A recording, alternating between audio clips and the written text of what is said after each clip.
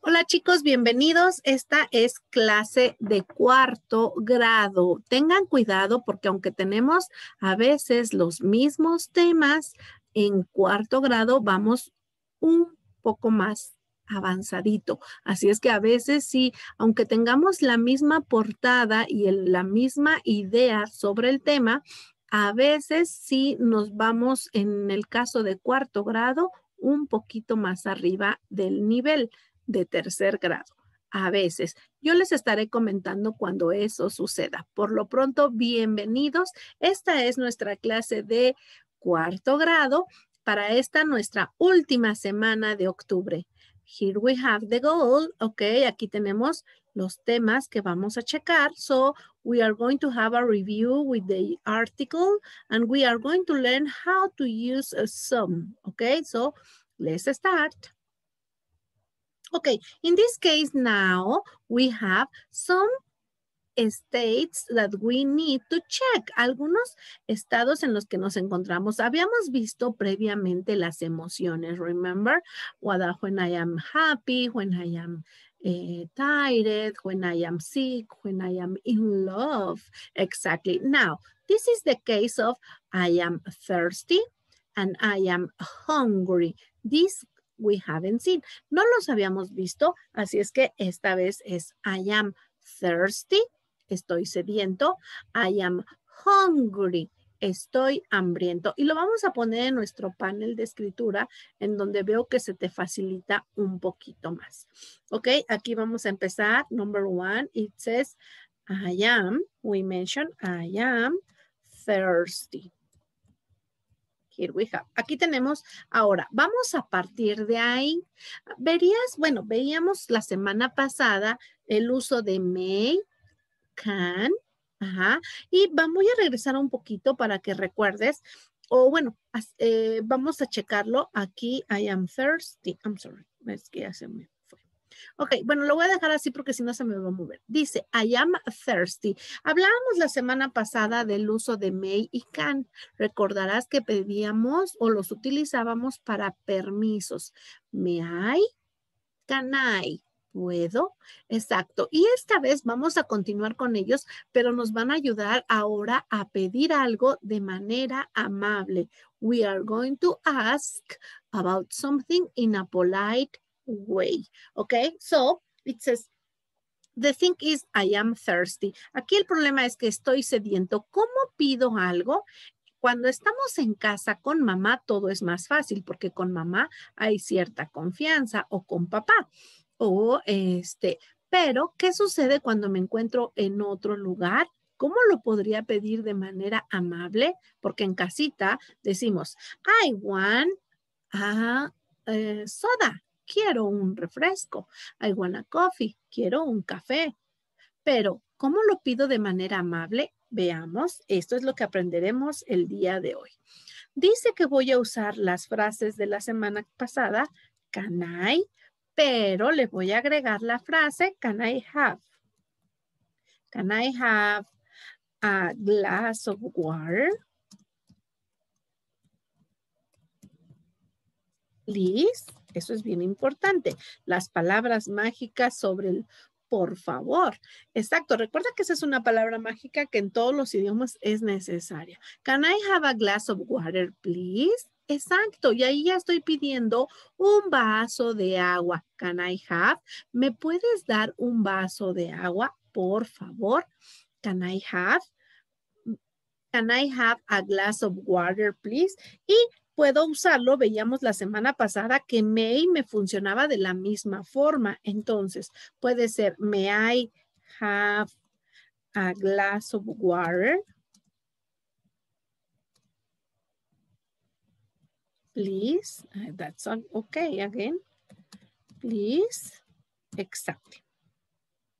Y esta vez vamos a agregar otra que eh, veíamos la semana pasada y ahorita que me pueda regresar te la enseñaré. Le hacíamos el, el uso de could. Ajá. Could. Could I have? Could I have? Podría. Could I have a glass of water?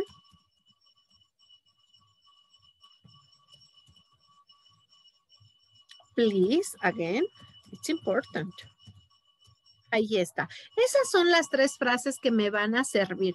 You are going to decide which one do you like more. Ajá. So, tú vas a tener que decidir cuál te gusta más, cuál te hace, se te hace más fácil, cuál te memorizas, cuál es la que más te agrada. Tú vas a decidir, pero aquí yo te enseño el uso de las tres. Can I have? May I have? Could I have. A estos recuerda que les conocemos como modal verbs y estos nos van a ayudar a pedir algo en, de forma amable. ¿Cómo lo podríamos hacer con los otros? Entonces veamos aquí, I'm sorry. Ok, lo puse muy abajo. Dice, can I have a sandwich? Can I have a sandwich? I'm sorry. Can I have a sandwich? Okay. Please. Exactly. Aquí ya estoy usando una vez más. Can I have a sandwich? May I have a sandwich? Could I have a sandwich? And also with the other one, can I have an apple? Here with this one. Can I have an apple? May I have an apple? Could you have could I, I'm sorry, could I have an apple? Exactly. Here we are. Erase and erase. Ok, and now here we have. Así es. Veamos y veremos el día de hoy el uso de estas palabras que nos ayudarán a pedir. Esta vez recuerda que la semana pasada las veíamos solitas. Me hay, can I. Ahora es importante que usemos el verbo have have is going to help me. Have, have, I'm sorry, me va a ayudar. May I have? Can I have? Could I have? Exactly. Esas son las frases. Ahora, aquí tal vez tuviste problema o no lo notaste al mencionar la de la manzana. ¿Cómo debía haber dicho? Can I have a apple o can I have an Apple. Por eso decíamos al inicio de nuestro tema que íbamos a recordar esto que es muy importante. When do I use the article a o when I use the article an? Aquí lo dice. Which one do I choose? ¿Cuál debo de escoger? Veamos. Ok, aquí la regla. Así es que vamos a recordarla una vez más. Aquí la tengo. When do I use a or when do I use an? Primero, la regla más importante me dice always in singular. Dice que estas dos palabras siempre las voy a usar en singular, nunca en plural. Ten cuidado. Recuerda que el artículo a o an indica uno. Entonces estamos hablando en singular. Ahora aquí, las reglas están aquí. Dice que voy a usar a cuando la palabra que voy a usar inicia con consonante. ¿Cuáles son las consonantes en nuestro alfabeto? Pues todas las que no son vocales. B, C, D, F, G, H, J, K, etc. Ajá. And if we say in English B, C, D, E, I'm sorry, B, C, D, F, G, H, Y, M, S, T, W, V, etcétera, ¿no? Todas las del, las del alfabeto. Ok, ahora, let's check. Dice que cuando mi palabra inicie con consonante o tenga sonido de consonante. Y por otro lado, I am going to use an when my word is going to start with a vowel, que voy a utilizar an cuando mi palabra begins with a vowel, inicia con una vocal, ¿ok? Y lo vamos a ver mejor en la siguiente imagen. Here we have some examples. Aquí tenemos algunos ejemplos, los cuales te voy a pedir que pases a tu cuaderno de notas para que los puedas resolver. Aquí lo vamos a hacer juntos, pero debe de estar en tu cuaderno de apuntes. Ok, here we have vowel, vowel, vowel, vowel. So, an ape, an egg, an angel, an artist. Ah, be careful. An hour.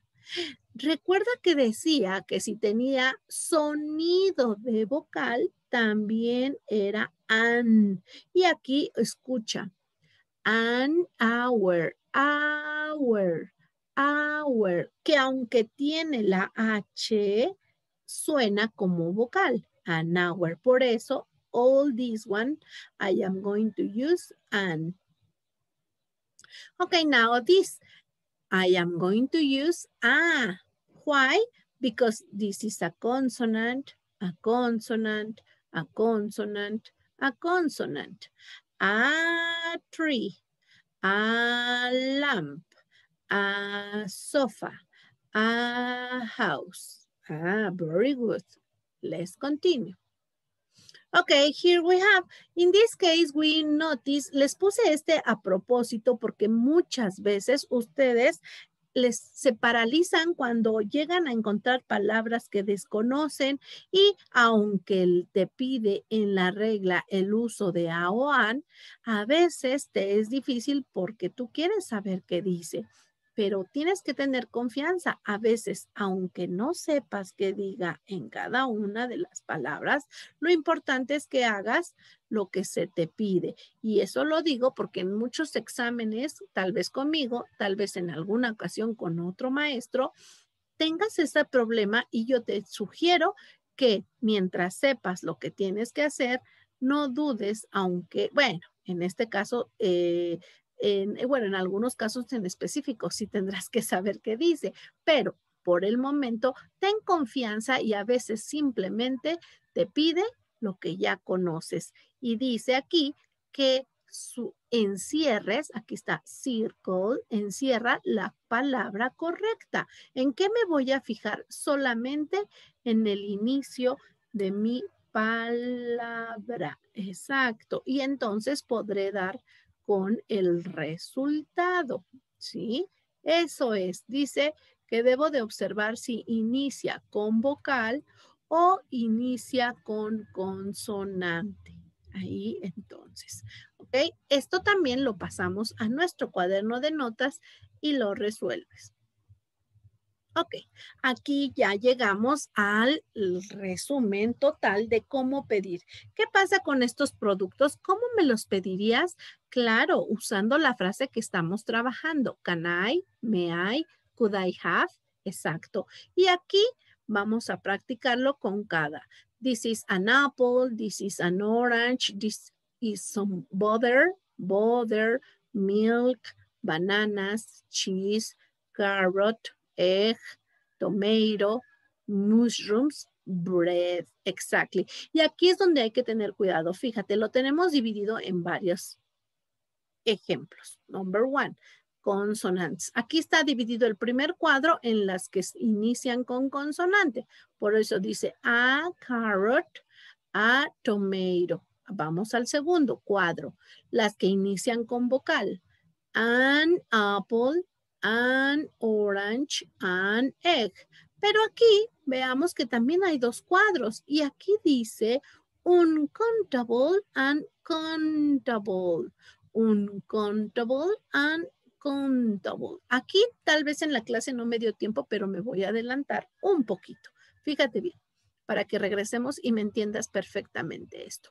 Bueno, aquí me da la descripción de some y dice we use some can be used in question to ask for something. Dice que some puede ser usado en preguntas para pedir algo. Ajá, y aquí está un ejemplo. May I have some cookies? Veamos ahora.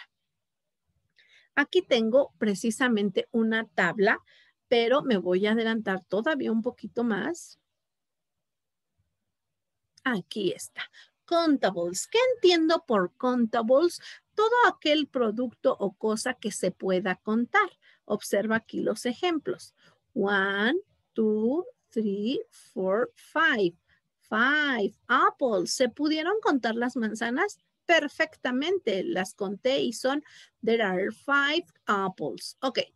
Now, can I count the bananas? One, two, three, four. Four bananas. Okay, so I can count them. That's why we can call them contables. And one tomato. Ok, fíjate bien. Como todo esto se puede contar, es muy sencillo. Por eso se le llaman contables. A todo lo que se puede contar. Tú me podrás decir, ay maestra, pues todo se puede contar. No, veamos por qué. Ah, aquí tenemos otros y de aquí vamos a partir. Here we have uncontables. ¿Por qué se les llama uncontables? Porque no son contables. ¿Por qué no puedo contarlos? Bueno, los puedo contar, pero hasta que hago un pequeño cambio. Por ejemplo, el dinero. ¿Se podrá contar el dinero? Claro, Miss, me vas a decir, pero no puedo contar un dinero, dos dineros, tres dineros. No, lo puedo contar hasta que lo transformo en monedas o billetes. Ah, entonces sí, y que le doy un valor. Cinco monedas de a diez, ocho monedas de cinco, siete billetes con valor de 20, 10 billetes con valor de 50. Ah, pero mientras no podía decir un dinero, dos dineros, tres. Tengo tres dineros para ir a la tienda. Claro que no, por eso no es contable. También los líquidos como el agua, la gasolina, el aceite, la leche, los jugos, todo lo que es líquido, tampoco se puede contar. No puedo llegar a, y pedir un agua, dos aguas, tres aguas. No.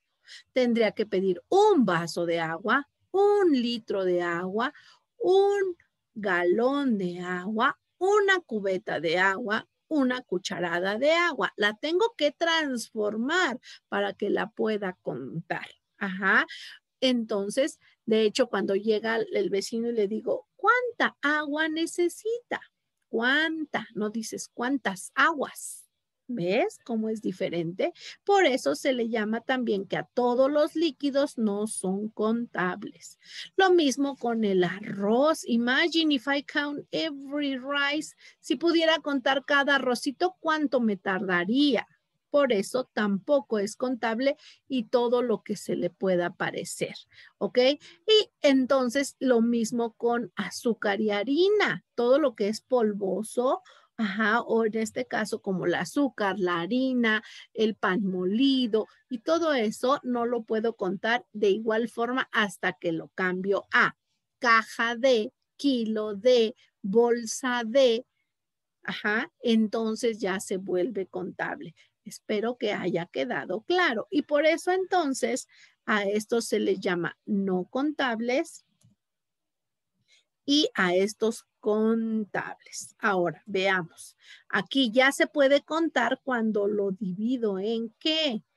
A bottle, una botella, a glass, una, un vaso o una, en este caso una copa, a jug, una jarra, una taza, un paquete, un frasco, una pieza, una rebanada, un cartón, una lata, una botella, un bowl, un kilo, una barra, una pieza, ajá, una barra también, aquí barra, pieza, and, espérame que, a piece of chocolate, a piece of cheese, or a piece of furniture. Ok, ve hasta que lo puedo pasar a algo que lo pueda contar. ¿Ok?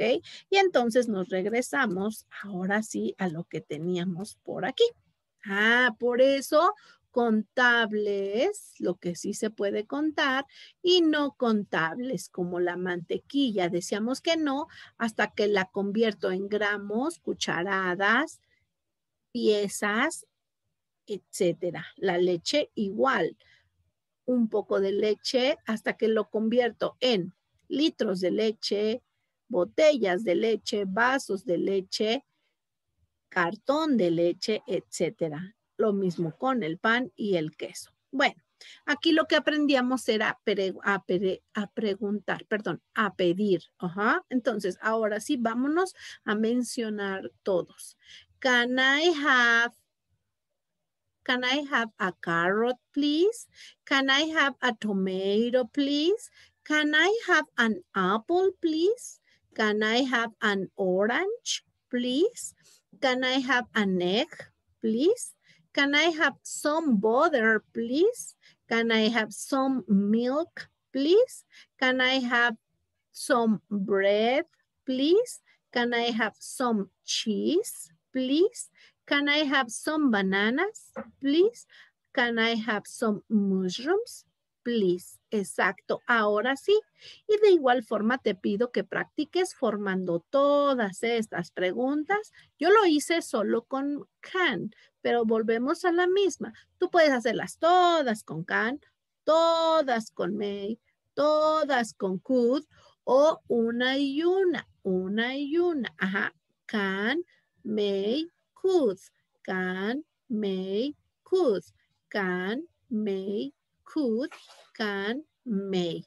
El chiste es que lo hagas practicando. Recuerda que la práctica te va a salir cada vez que practiques, esto te va a salir mejor. Así es que te invito a lograrlo. Entonces, nos vemos hasta aquí nuestra clase y yo te dejo para que disfrutes de tu semana.